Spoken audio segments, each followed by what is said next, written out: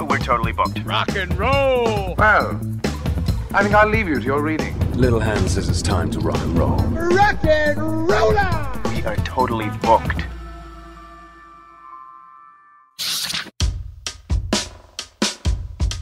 Welcome back to Booked on Rock, the podcast for those about to read and rock. I'm Eric Senich. The website, bookedonrock.com, you can subscribe to the email list and get notified of the latest episodes, videos, blogs, and more. Our guest this episode is veteran rock journalist and author Gary Graff. He's here to talk about his brand new book, Alice Cooper at 75. This book covers the life and career of one of the greatest artists in rock history through 75 key releases and events. Graff takes you through the book with the stories going back to Alice's childhood in Detroit and Arizona. He covers his early bands, the Earwigs and the Spiders, all 28 studio albums, Alice's greatest singles, collaborations with other artists, his offstage passions, and charity work. It's all covered here in a book that is packed with amazing photos, both offstage and on. He's got images of rare memorabilia, gig posters, vinyl record sleeves, ticket stubs, advertisements, and a whole lot more, including a gatefold Alice Cooper timeline. Also included in the book, two pull out posters and an unpublished 8x10 photo of Alice Cooper. It's a beautifully packaged book, comes in a slipcase hardcover format. A link in the show notes page to pick up a copy of this book. It's a must have for every Alice Cooper fan. Gary's here to talk about the book and the original shock rocker himself, Alice Cooper. A playlist of Alice Cooper on the show notes page. But first, let's talk to Gary Graff. Gary, thanks so much for being on the podcast. Oh, thank you for having me. We appreciate it. This book pays homage to Alice Cooper's groundbreaking work going all the way back to 1964 when his first band, the Earwigs, performed their first show. Before we get to all of that, let's go back even further to his childhood years. Although he left Detroit early in his life, Detroit never left him. He's proud to say that that is his hometown. He was born Vincent Damon. Is it pronounced Furnier. Furnier. Okay, on It's February very, very French. yeah, on February 4th, 1948. Can you talk about those early years? He loved the Detroit Tigers, right? He, I mean, yeah, that's that's the great thing about Alice here in Detroit is he, like you said, you ask him where he's from, he says Detroit. He's been in Arizona for a long, long time, but it's it's Detroit for him. Loves the Tigers, loves the Lions, God help him, uh, loves the Red Wings, the Pistons, really everything about Detroit. And of course, his last album was called Detroit Stories because he was trying to capture a particular spirit of Detroit. And you're right, Detroit never left him. When you what you see in Alice is that Detroit Midwestern work ethic, and also that Detroit and Midwestern sensibility, um, tough. But you know, what do we call it? Tough but fair, right? Kang the Conqueror. You're uh, tough, tough but fair. But no, it, it was the kind of thing where you you embrace the dark, you know, whether it's violence or just you know being downtrodden.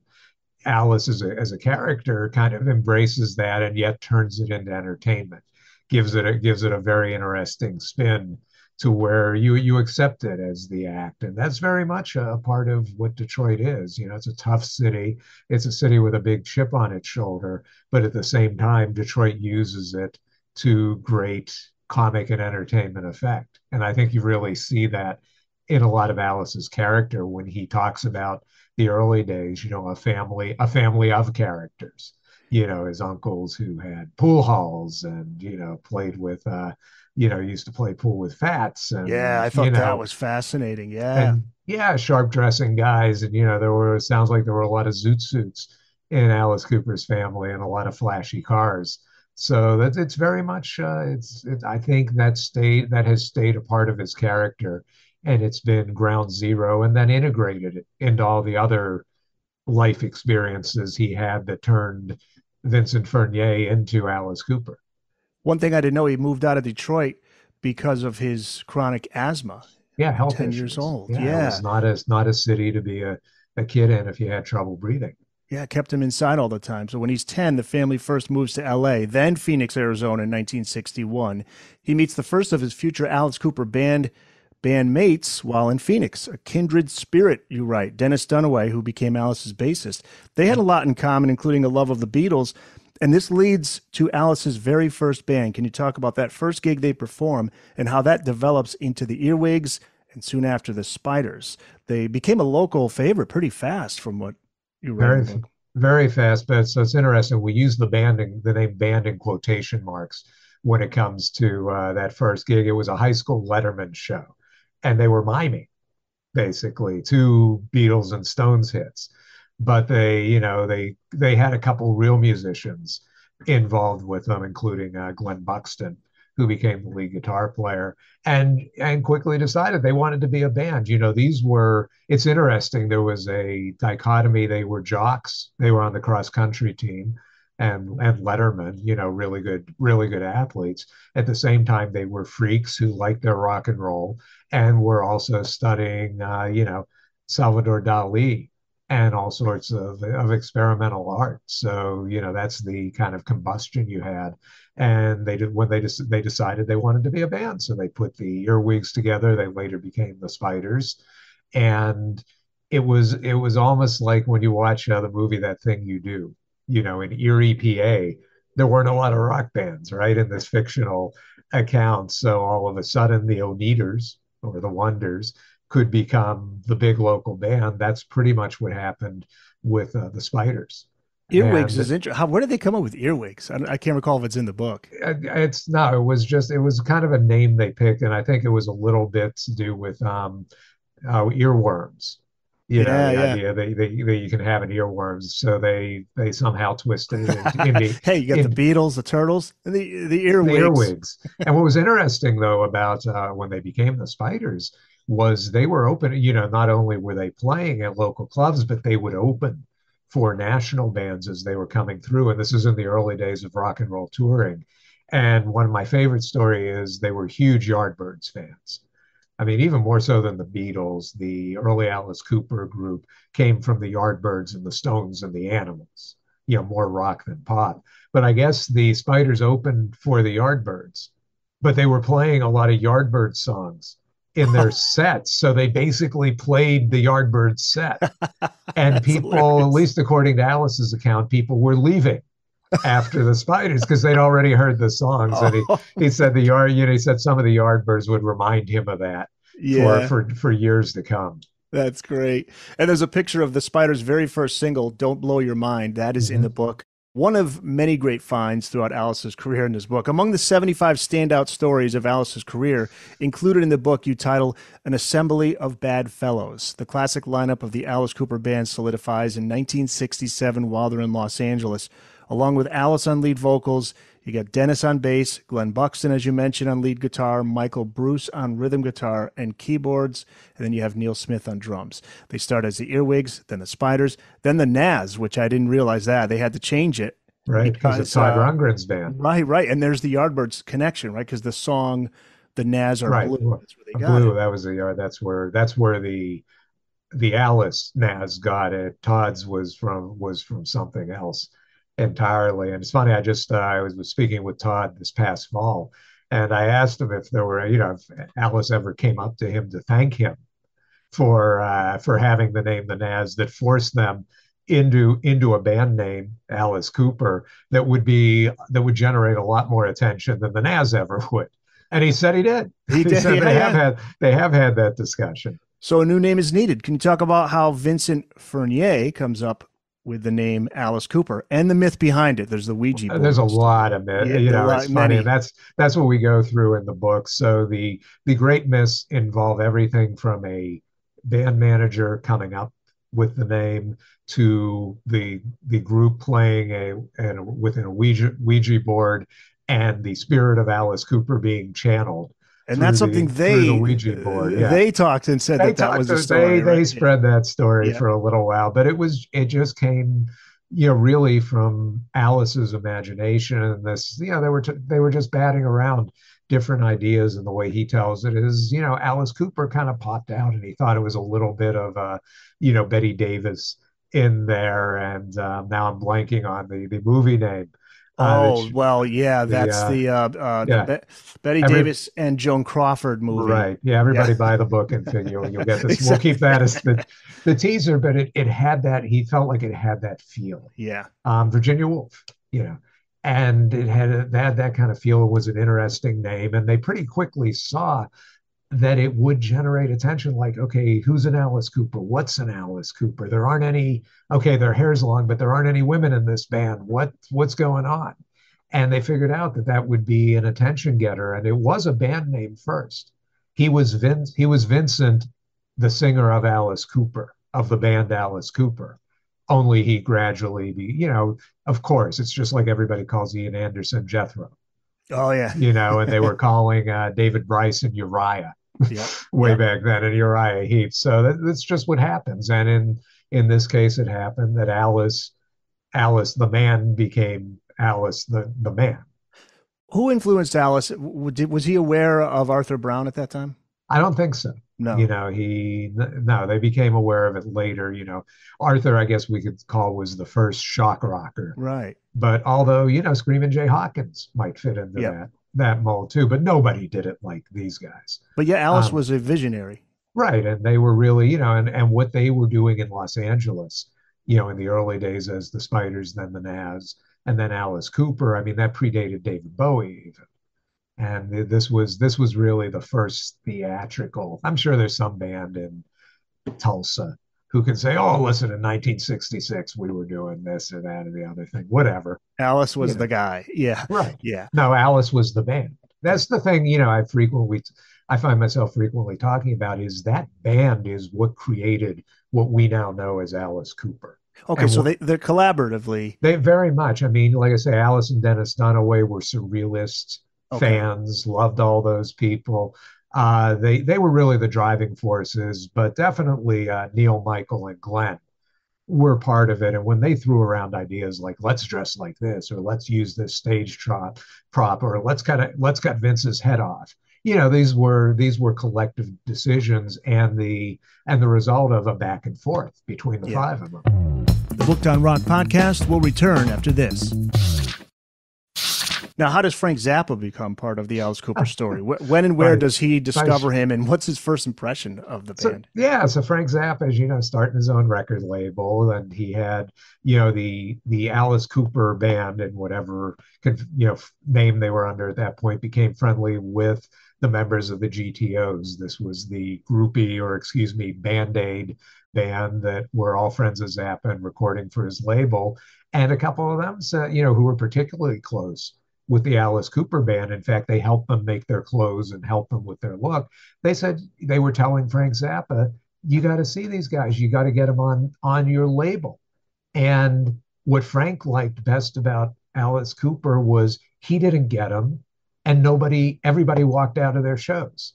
So Frank Zappa, being Frank Zappa, was like, "This has got to be great. This has got to be perfect for my label." so, so another story, you know, great story about this is Zappa tells him, "Okay, come over my house, whatever day at seven, seven in the morning." there's there's this loud noise in Frank Zappa's house, and it's the Alice Cooper band warming up, and he goes down in his bathroom and says, "What are you doing?" Well, you said seven, seven p.m. Yeah, So- Fra- Frank's an important figure in Alice Cooper yeah. history. Uh, Uh, he he got him started, he put out got him started. put out those first two albums. Doesn't sound like he taught them a great deal. In fact, he kind of foisted them off on other people to pr- produce. But he got them, you know, he got them into the business and he wound up selling his label to Warner Brothers Records, which is what gave Warner Brothers Records Alice Cooper, even though at the time they didn't think they were getting much of a treasure. Those first two albums did not do well, and for if you listen to them, uh, for good reason. Now, Shep Gordon becomes the band's manager, and he is Alice's manager to this day. Correct? on, on a handshake deal. Handshake deal. they What, what shook was? hands in 1970 at uh, whatever dive hotel the band was Yeah. staying. Shep's the- background. That story is so great. Oh, he's great. What- You what know, he is went- Shep's Went to went to college, and you know he had all sorts of professional. I don't know that he had aspirations. He tells them that his good Jewish parents were, uh, you know, were the ones who had these aspirations. But winds up getting his degree, goes to L.A. to be basically be a corrections officer, parole thing, and I think he lasted a day on that job. Just didn't didn't last, and you know finds himself at this hotel in Los Angeles, and you know that happened to be ground zero for like Jimi Hendrix and the Doors and the Chambers Brothers, and the make money, Shep was selling pot. And there's no no better way to ingratiate yourself to rock stars than you know getting them weed or whatever yeah. else. And it was one of the Chambers the Chambers Brothers had befriended Alice Cooper and I think I forget if it was the Chambers Brothers or Jimi Hendrix. Once again, it's in the book. Buy it. Um, the Chambers Brothers. Yeah, they, they were the they were the ones who said, "The Shep, you know, you're a Jewish guy. You ought to be a manager." And it, it was definitely the Chambers Brothers who also had befriended the Alice Cooper band, and they they made what you you might call the shidduch, which is putting the two together, and you know, and meeting up with each other. Shep too was intrigued with when he went to go see the band the first time, you know, that they started playing and everybody walked out. And he felt like if there's this visceral and strong of a reaction, there's something here. And they basically they basically learned to be band and manager together.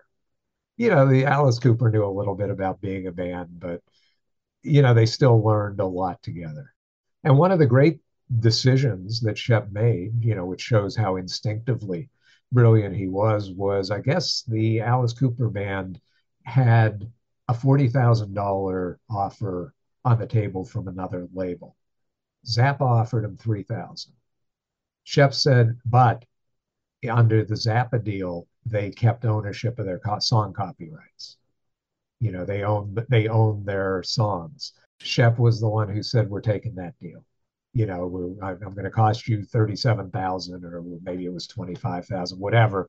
We're going to sign with this guy for a lot less, but we are always going to own our music. Wow. And, what a what you, a smart move that was. As you well know, as you see all these uh, artists and bands selling their catalogs for half a billion dollars, you know, for six, seven figures, um, nine figures to uh, to the to everybody who's buying them up now to own your your music is crucial. But again, he sees something there, like Frank Zappa. He saw outrage. He saw you the know, silver saw, lining. You wrote. He saw the potential to outrage. Listen, we all, I, most of us became Alice Cooper fans. Most of us of a certain age, who were kids in the '70s, got into Alice Cooper because everybody else hated him. Our parents hated him. Our older siblings who were hippies hated them.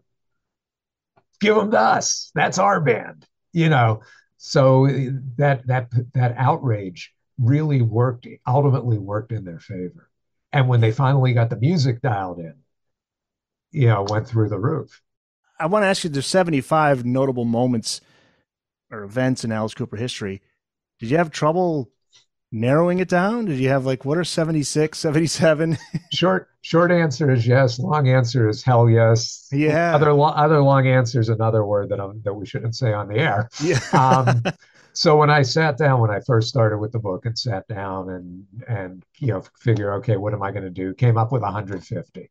Oh my god. Yeah. So, you know, walk around the block, get some air, come back, you know, knocked it down maybe to 120 and then I figured out how to cheat, you know, how to use some of these chapters so that they would actually deal with more than just the one topic. You know, there is a chapter in there about all of Alice Cooper's guitar players. Right. You know, which could have been each had really, there's so many good ones. They could have had their own entries, you know, chapters that put together his TV shows or his movies. And yeah, so that's cheating a little bit, but but we still got it's the, economizing. We, exactly. We still got the it's efficiency. We uh we got we got to cover everything we needed to and still fit within the format of the book. Yeah. That was a headbanging, a true headbanging uh, yeah. part part of the book. What about the Pink Floyd story? That's that was, one of the 75 most notable moments. I thought it was great that Alice Cooper and Pink Floyd were good buddies back in the you know, late 60s, and that when Pink Floyd came over to America and over to Los Angeles, they wound up living in the same house. What where an unlikely Alice, friendship. It is, but you know, they were brought over by the woman who was running the Cheetah Club in Los Angeles at the time, and she booked Pink Floyd. And, you know, they wound up, they played poker together. Um, you know, uh, they apparently Pink Floyd dosed uh, the Alice Cooper band one night before they went on stage. Uh, Alice has great stories about you know coming down to breakfast and there's Syd Barrett staring at his cornflakes.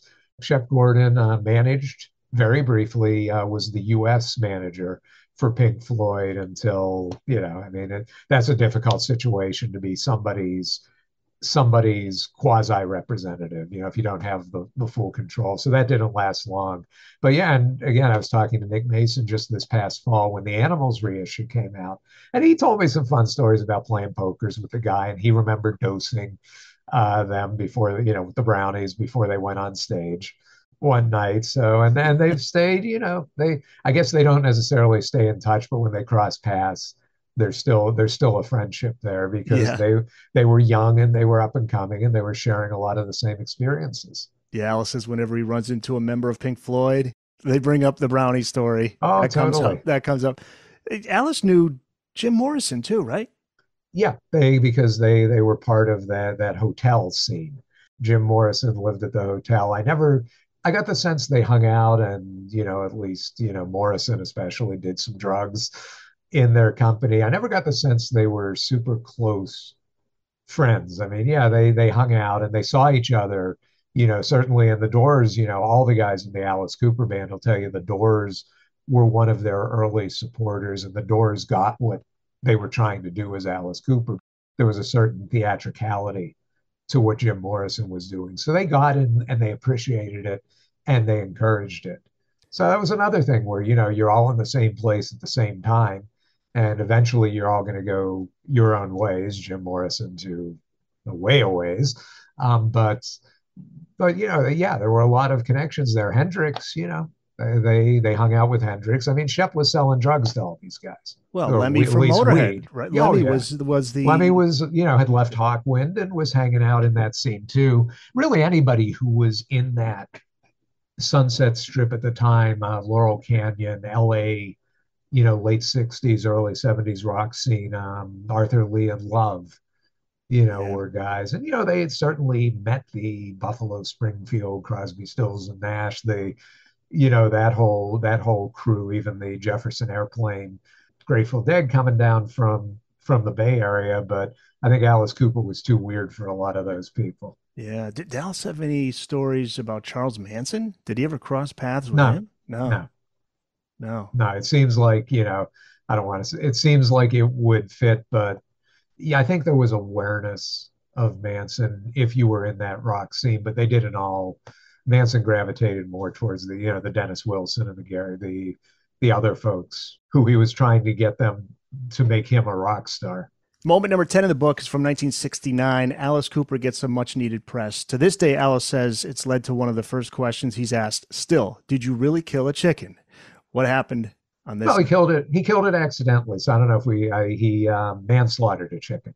I guess is how you put it. But they were playing at the at the Toronto Rock and Roll Revival Festival um, in '69, noted for when John Lennon. I'm sorry, 1970, when John Lennon and uh, you know, you know, brought an ad hoc band there, Eric Clapton, Alan White from Yes, Klaus Voormann, and Yoko. You know, got the gig the day before, rehearsed on the plane. I'm sorry, it was 1969 and you know re- rehearsed on the plane came over and shep had uh, basically he offered to help the guys. Shep was in toronto at the time. They were trying to get jack richardson to produce alice cooper to the alice cooper band. Jack, um, jack richardson had produced the guess who.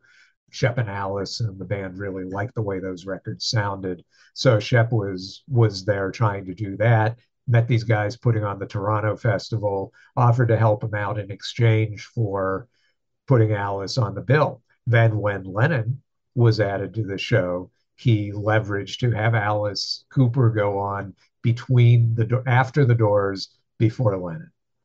So nice, you know, nice. He he he had some leverage and he used it. So during the show, you know, this chicken walks on stage, and you know, Alice doesn't really know from chickens. So he picks it up and, you know, after looking at it for a while and using it as a prop, sends it off. He says, figured it would fly.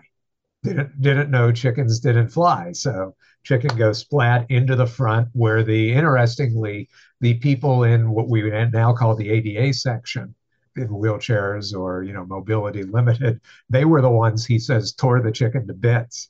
and and there is video from the festival and you see yeah. people you see people throwing chicken entrails back at the stage to Alice. It was some years later that Shep came clean that he was the one who put the chicken on stage. They were apparently wherever they were having the festival. I, it must have been near near a farm or a barnyard or somewhere, anywhere. They, there were chickens around, and so Shep Shep thought it would be interesting to see what would happen if the chicken got on stage, and he he got more out of it than I think he ever could have expected. And Alice very famously talks about how he got a call from Zappa uh, the next day or two days later. Zappa said, "Did you really kill a chicken on stage?" And Alice goes, "No," and and Zappa says, "Well, don't tell anybody that. It's getting tons of press. You know, this is it. This is your break." And that it really is where you know, listen, listen. Let's remember 1969. Rock and roll was not what rock and roll became in the society. It was not accepted. It was outlaw stuff, and mainstream media was only too willing to glom onto a story about some, this about a rock star murdering an animal. Free publicity, yeah, uh, totally, and that became yeah that became a hallmark of Alice Cooper's '70s career, and especially you know Shep Gordon. There's a ton of stunts that he pulled that managed to get Alice Cooper greater publicity than you than you could have bought. Gary Graff is here to talk about his brand new book, Alice Cooper at 75, which is due out January 31st, coming out next week. So the book highlights Alice Cooper's 75 career accomplishments, events, and partnerships. The first two Alice Cooper albums, let's get to those 1969's Pretties for You and 1970's Easy Action. Neither did much. The debut sneaks into the Billboard 200 at 193 and it's gone quickly. You write that the debut is a fascinating failure and the follow up Easy Action is an odd degree of separation between Alice Cooper and Neil Young. Is there anything worth listening to on those two albums? You know, I mean, I, I, I always steer people to Reflected on the first album because that became elected. Um, you, and you hear it, it's slower, it's trippier, but it's, you know, but it's not not the same song you know they're they're very interesting in that okay yeah this was the psychedelic rock scene. And certainly if you are instrumentally inclined listening to what the individual players are doing particularly dennis dunaway a guy who taught himself to play bass didn't really know that much about what a bass guitar was when he picked it up. He was just the assigned bass player in the band and created you know a style that i would argue was influential as a jack bruce in rock and roll. You know, this he just very, very melodic, random almost in spots, but melodic and somehow fit not only fit all the songs, but was a big part in driving all the songs. So to hear that on these two albums and just to hear these guys kind of basically throwing anything they could at the wall and seeing what might stick, and very little of it really did enter producer Bob Ezrin. How does the band enter Ezrin's world, and what was his first impression of the band? Well, this was like we were talking about was, you know, that Shep had been trying to woo um, Jack Richardson, who wasn't interested, and he basically sent Bob Ezrin to tell Shep no. Bob had just started as kind of a junior partner in Nimbus Nine, which was Jack Richardson's studio and production company, and was basically asked to get rid of this guy but Bob liked them as people. And they managed to convince him to come down to see them in New York at Max's Kansas City, a very hip venue. So Bob does go down, and somehow Bob Ezrin's ears heard within the mess that was Alice Cooper that there was something there. It just needed to be shaped and edited and, you know, really, really produced, which is what he wanted to do.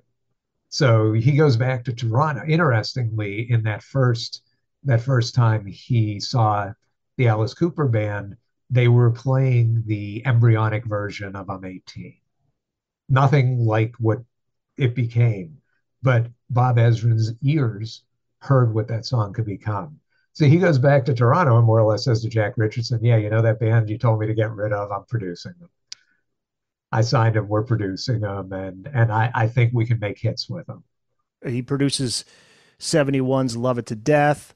He then produces Killer, also from 71. 1972's School's Out. 1973's Billion Dollar Babies, which became the band's first number one. School's Out went all the way to number two before that. And the classic songs that are released during this period I'm 18, Under My Wheels, School's Out, Elected, No More Mr. Nice Guy, Billion Dollar Babies.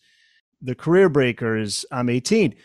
The version that he saw them play in concert, was it the 18 minute jam that you write Yeah, about in the book? right, So right. they were so there was like it was like a it was like a jam band type of deal. It was, and you know, it went it careened all over the place, but somewhere in that song was dun dun da da da da da dun, dun, dun, you know, and Jack heard that and was like, "That's the song. We're going to build the song from that." So he came to Detroit. The band had moved to Detroit. They decided that LA wasn't. They weren't going to make it in LA. They were correct about that. So they said, "We're going to go anywhere that gives us a standing ovation first as we're playing across the country, and that that was a music festival in Saugatuck, Michigan. Alice, being from Detroit, was natural. Let's go to Detroit.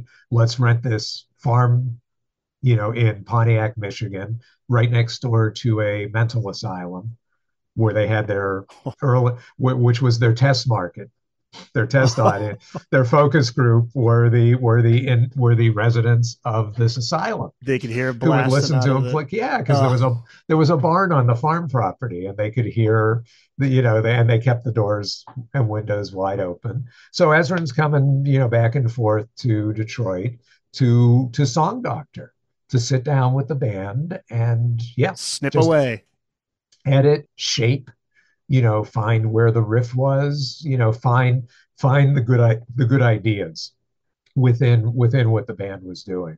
And you know to their credit the musicians especially um, alice mike bruce you know dennis they they got with the program pretty quick. And you know they bristled a little bit um, especially some of the instrumentalists you know they bristled about this kind of external control over them. But listen once you have a hit single you decide i can i can live with that you know it, it's a great song. Well, you know one of the things that that often gets eclipsed in the alice cooper mystique you know which of the stage show and of all the uh, macabre things that he does is that he the band and alice cooper the man have right up to present day made great music wrote wrote good and great songs made great sounding records and that's why they're still around it's not and that's why he's still around it's not just because he hacks up baby dolls and gets his head chopped off it's because he has great songs to go with it The Booked on Rock podcast will return after this. School's out. oh yeah There's another one that taps Yeah. into the, the youth culture like I'm 18.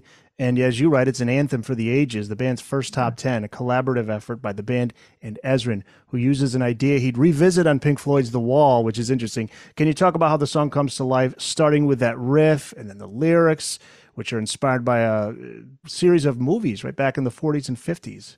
Yeah, you know, yeah, the um, I, I guess you call them jailbreak movies almost, but this idea that of breaking out, and you know, it occurred to Alice, what's the ultimate breaking out? That last day of school, when you're when you're waiting for the school bell, there's a song, there's a song there, and he created the you know this idea. Yeah, school's out.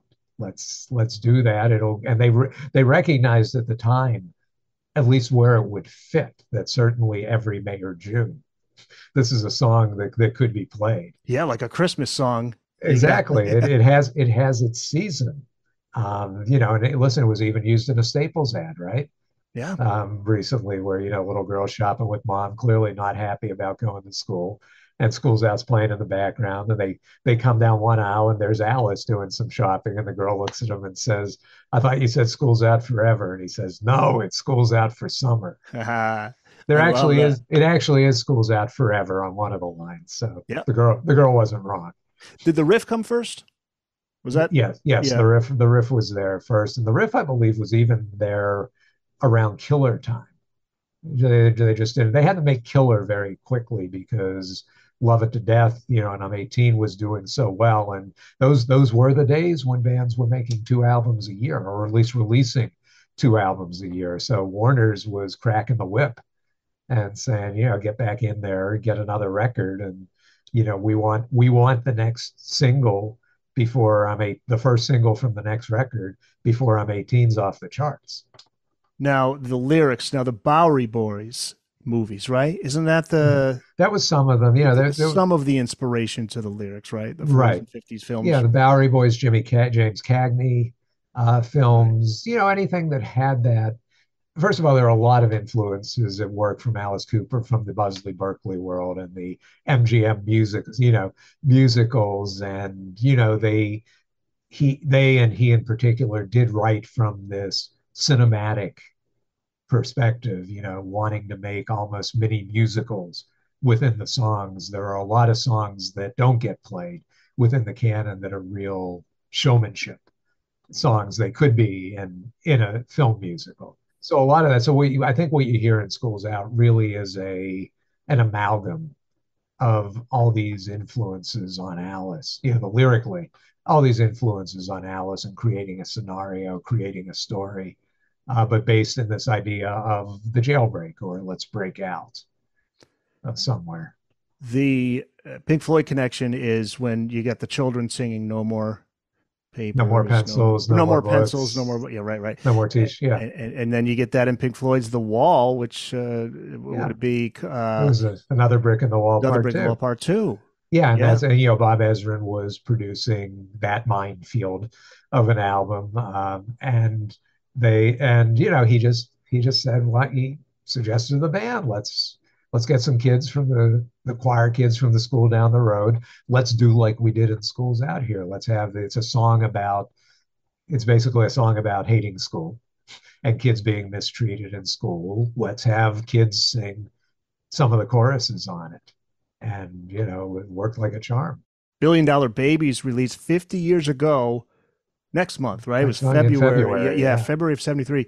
Elected No More Mr. Nice Guy and the title track, the highest charting album. Where does the title come from? Billion Dollar Babies. that's what they felt they were. They kind of, you know, that kid just came from group give and take and discussion and media references, you know, and somewhere along the line, just, you know, much like the Alice Cooper name popped out. Yeah, we're, you know, and, you know, a, a, a tour manager, you know, calling them babies. And yeah, we're babies. We're billion dollar babies. Ezrin doesn't return for the next album, mm-hmm. 1973's Muscle of Love. It would also be the last album recorded by the classic Alice Cooper band lineup. Why wasn't Ezrin part of it? And what led to the end of that lineup? You say there's far more to the story than is told. Yeah, and it's basically where things came off the rails, where the lingering resentment the other musicians had about Alice Cooper, the band, really becoming Alice Cooper, the man, and Alice becoming the star of the show, and them feeling like they were getting short shrift, not just in the media, but they felt like their ideas weren't being taken as seriously as a group and that everything had become about this image that was created and the music and the songs had to serve this image this stage show and not necessarily be the good rock and roll songs they wanted them to be this is true of michael bruce in particular but all of the members shared that to some degree so when it came time for muscle of love the other guys in the band were putting their foot their feet down and saying we want it to run differently. We want this to be a more democratic process. We want it. We want to have more input. Um, this is where, particularly Michael Bruce, who had been chafing under Bob Ezrin's thumb, if you will, you know, decided he wasn't going to take it anymore. You know, no more, no more Ezrin, no more books, and he. You know, and and so Ezrin sees the writing on the wall and says, "You know what? I don't want to deal with this. I've made four major hit albums for these guys. I don't need to put up with this crap. And, you know, ironically, Jack Richardson, the guy who originally told Bob Ezrin to get rid of this band, uh, was the guy who stepped in to produce it. It's- amazing though how many bands that happens to? It's it's rare when it doesn't. Yeah. Like Yeah. you two or Well, right. U2 has, so the Pearl Jam. yeah, Pearl Jam, Um, Green Day. I think. Yeah, you could put in. Soundgarden. Soundgarden, although Chris Cornell never necessarily became the, you know, the star of the, the face of the band to the magnitude Alice Cooper did. But look, Um, look at Kiss. What happens with Kiss? Look at it. yeah. It's just. And for Alice, you can't really blame him. It's just he's caught up in No, that whole right. whirlwind of of And he- fame. and and he's young and he doesn't you know he's feeling the pressure. He's trying to navigate his life as a superstar. And so he doesn't necessarily know how to deal with the other guys and how to make it right. And you know you you did have management you know and record company who did not want to hear from this extra you know extra input. We that what we're doing is working. You know do not rock the boat. Stay with go with the program be happy. You're a famous, you're in a famous rock band. You are not as famous a rock musician as Alice Cooper, the man, but you're a famous rock musician. You're getting to make albums. You're getting to tour. You know, that's that was the company line. You know, just just lay off. So, so the you know the long and short of it was they wisely decided to take a bit of a break. You know, which a lot, which most bands don't know how to do, and certainly in 1973 74 no band no band knew how to do that. And you know they were all afraid that if they went away someone would take their place. So michael bruce goes off to make a solo album and then they and wants to work on it. But when shep and alice are ready to get back to work the other guys aren't available. So it's and they basically you know at least according to according to most accounts they were given more or less given an ultimatum that and told we're going to go make a, a, new album. If you're not there we're still going to make this new album. So that became welcome to my nightmare. Right yeah which is technically alice's first solo project. Correct. And and very different in a lot of ways in that it was for a different record company because the deal with warner brothers allowed alice to make a sound basically a soundtrack album for another label so, in order to take advantage of that and make more money uh, for that album, they created the Welcome to My Nightmare TV special, film, you know, musical presentation, and then so that they could release Welcome to My Nightmare with Atlantic Records.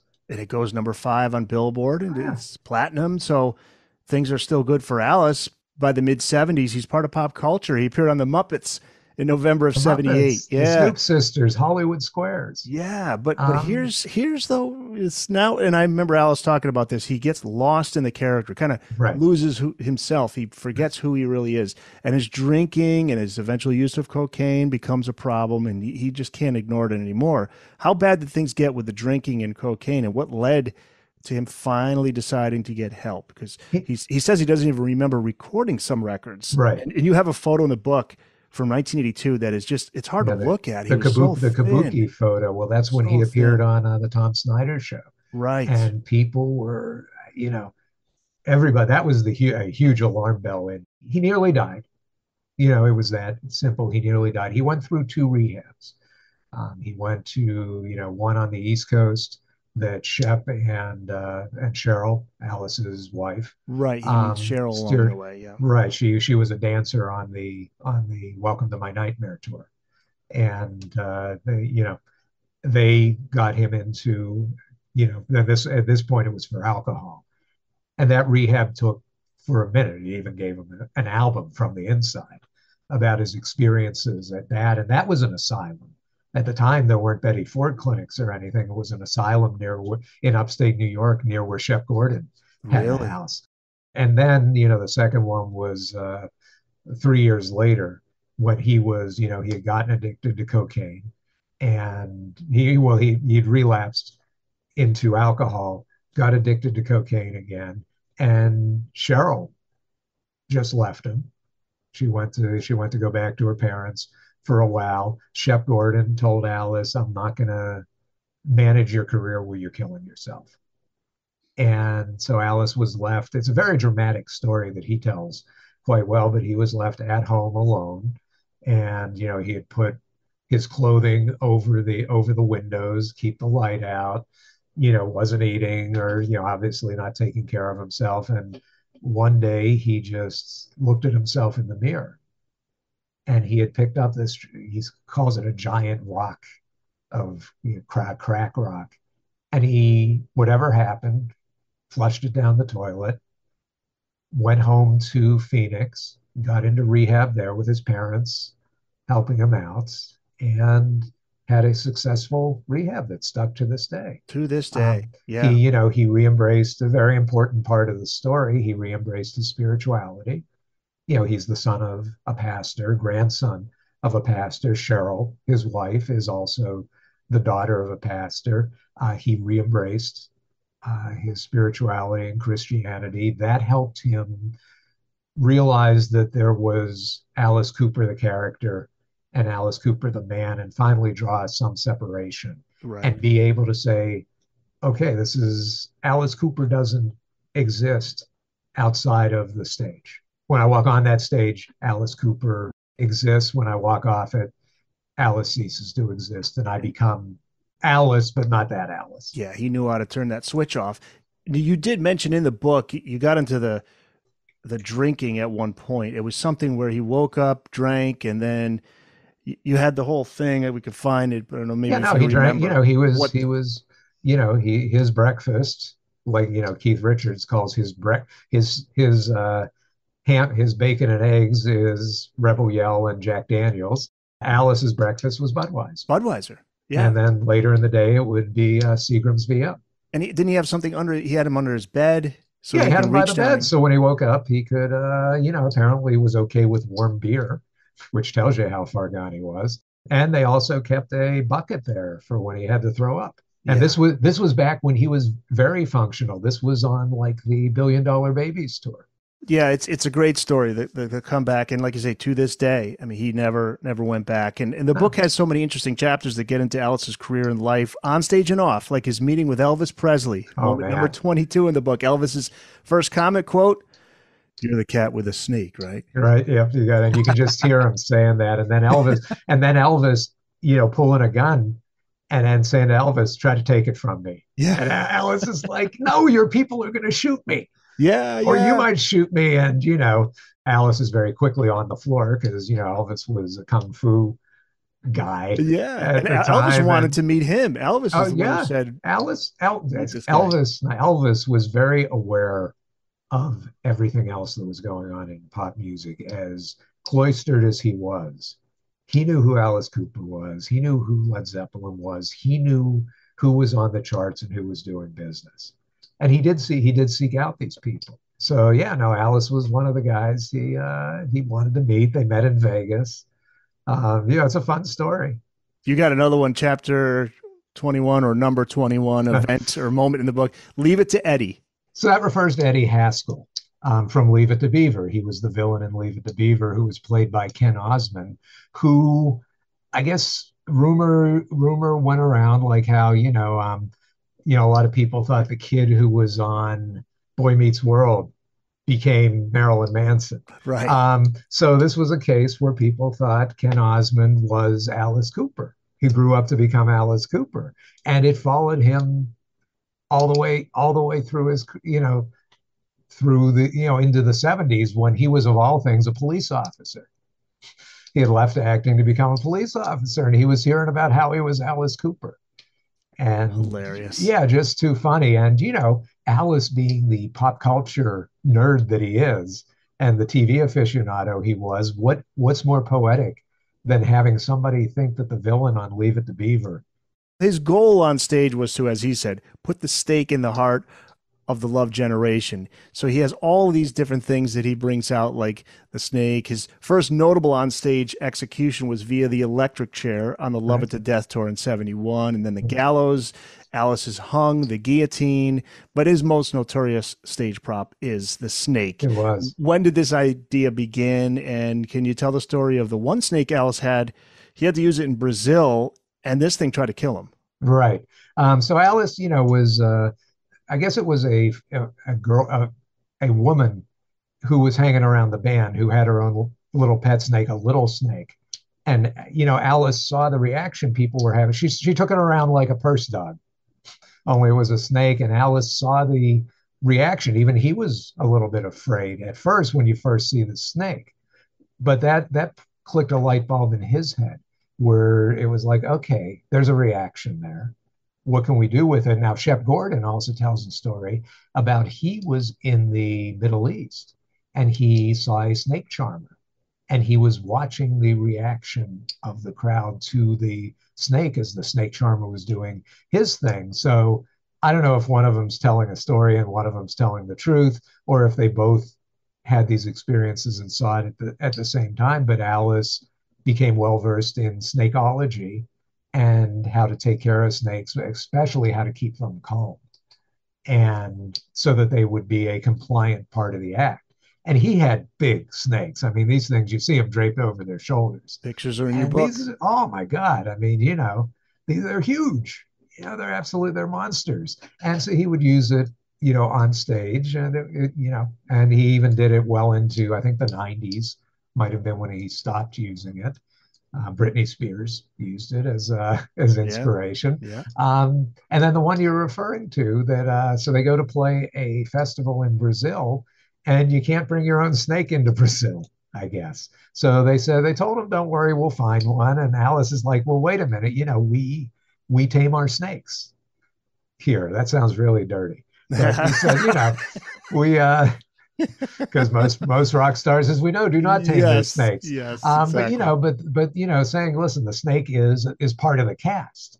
You know, it knows what it's doing. But I guess they they promised that they would find him a snake. You know, a compliant snake, and instead they just grabbed one out of the jungle that Oh, was ready to kill him, and was re- it was a boa that panicked on stage and started to do the boa thing. yeah. You know, oh, I love you so much. Um, I'm And- going to literally love you to death. Yes. the boas kill you, but with the squeeze. He literally put the squeeze on Elvis, and the crew guys had to come out and extricate him. And you know, the crowd, of course, thinks this is a great part of the act. Yay, that's great. yeah, you know, how realistic. Yeah. Well, it, it was freaking realistic.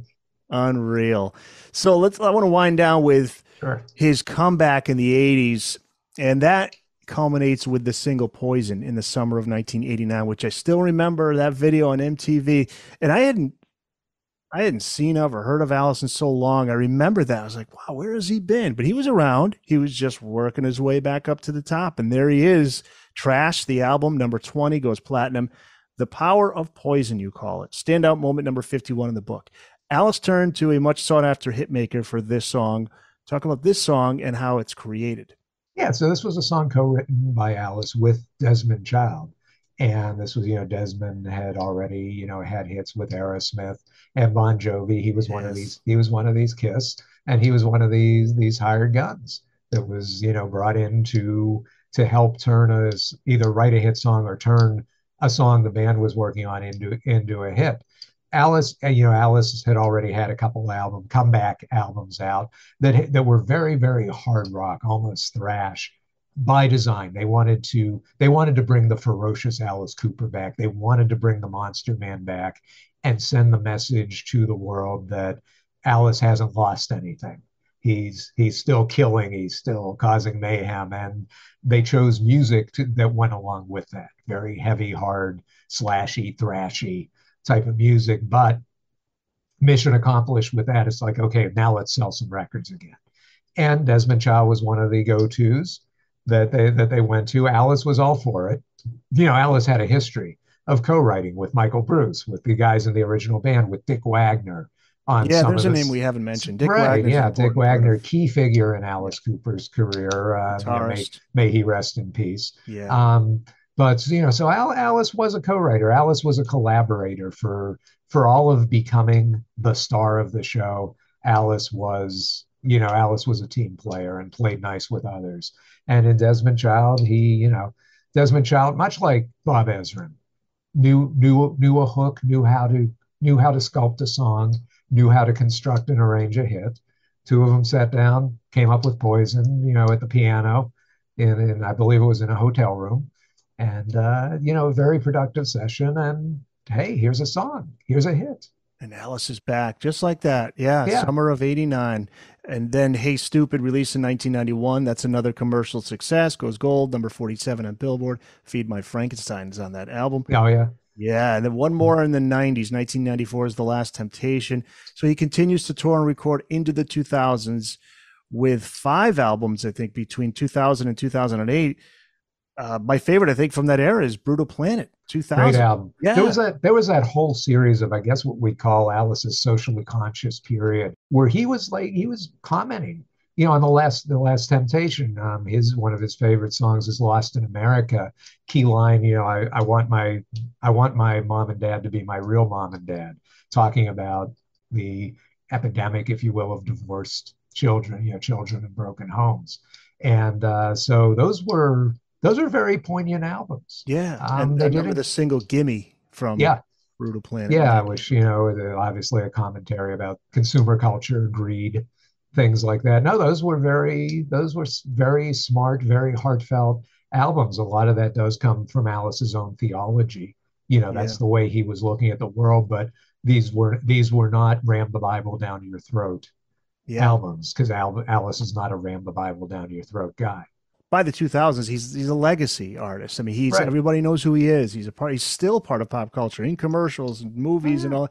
And uh, he does bring his guys back from the Alice Cooper band for "Welcome to My Nightmare." Welcome, the number two, My Right. Nightmare, and that was, I believe, what year would that have been? That was That would be 20 90 or 2012, somewhere around there. Yeah. So how does that all happen? And he brings back Bob Ezrin too, and Right. and it and it's number twenty two on Billboard, his highest Yeah. charting album since Trash. How did that reunion all come about?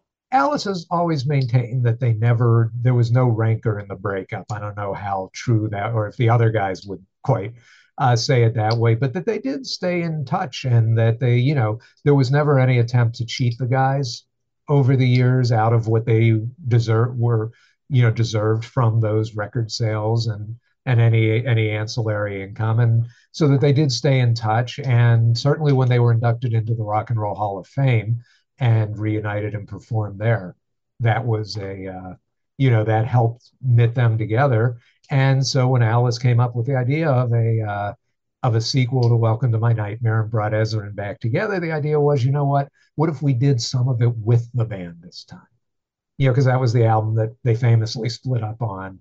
Let's, it's the perfect album to bring it back together and the original, the surviving original band members, Glen Buxton, had passed away, but the other three and have contributed in some way and form to every album since then, right up to Detroit Stories in Yeah. 21. What did you And- think of that album? Welcome to My Nightmare. Yeah, the thought- second one. Welcome to My Nightmare. I thought yeah. it was very good. I thought it, you know, it it got it had the mojo that that Welcome to To My Nightmare had, and had the had a lot of the mojo of the the original Alice Cooper albums, the hit albums, and a lot of that's down to Ezrin. And it's it's a nice it's then a nice bonus to hear songs that were conceived and played with the original band.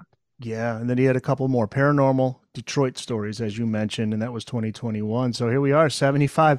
I think what's great for Alice is he had never had that kind of voice where he was blowing his voice out. So Right. he still sounds great, and as he gets older, it, it actually works. You know, the look. He's Oh yeah, he Hey, growl. He has a good growl.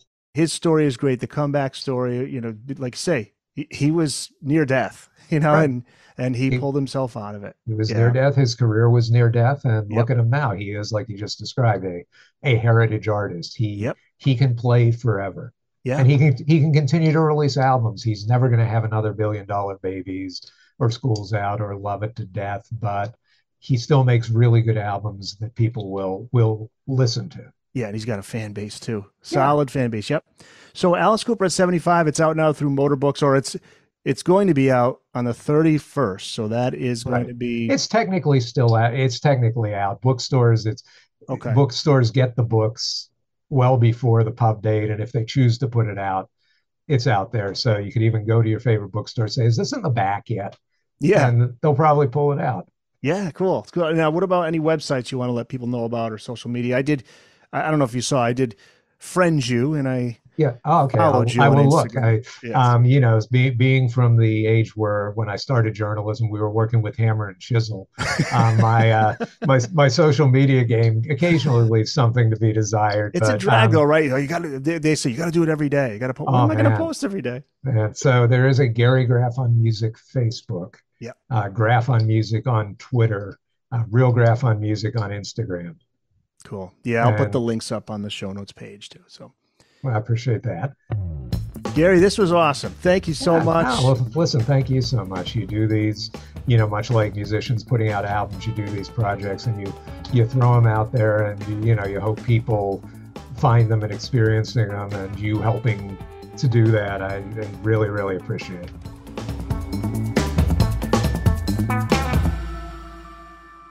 That's it. It's in the books.